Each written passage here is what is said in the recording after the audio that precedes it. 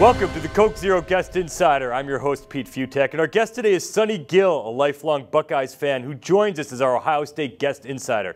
All right, Sonny, before we get your take on Monday night's matchup with Oregon, do you have any game day superstitions?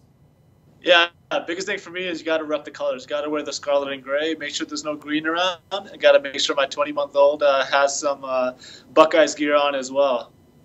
All right, so, so who is the X factor for Ohio State when they take on the Ducks? Oh, the X factor is definitely Cardale Jones. I mean, he's pulled us through the last couple games.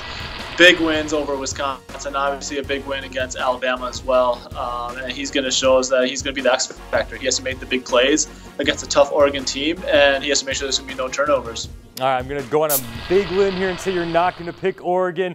All right, so tell us, Sonny, why are the Buckeyes going to win on Monday night?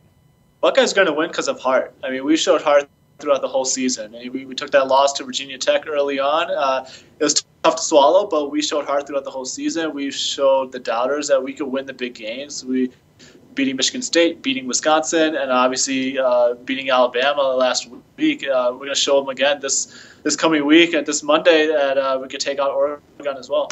All right, thanks for joining us, Sonny. Now keep it locked in here on Campus Insiders for another edition of the Coke Zero Guest Insider when we hear things from the Ducks' perspective next time.